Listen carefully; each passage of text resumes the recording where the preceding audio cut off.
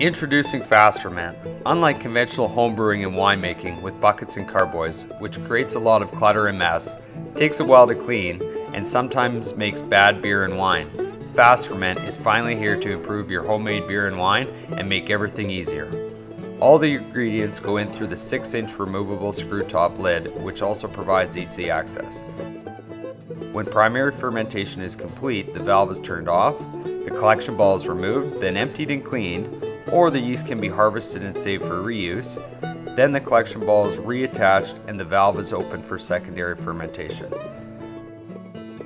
Once the secondary fermentation is complete, the collection ball is unattached again and the filling hose is put on. Now you go right into bottles or kegs. This is primary and secondary fermentation happening in one unit. No racking and no transferring, resulting in better beer and wine. The Fast Ferment kit comes with everything you need to get started, and it can be easily mounted anywhere, such as in a kitchen, under the stairs, in the basement, or maybe right in the living room. And there are custom accessories available, including a carrying strap, stand, thermometer, and extra collection balls.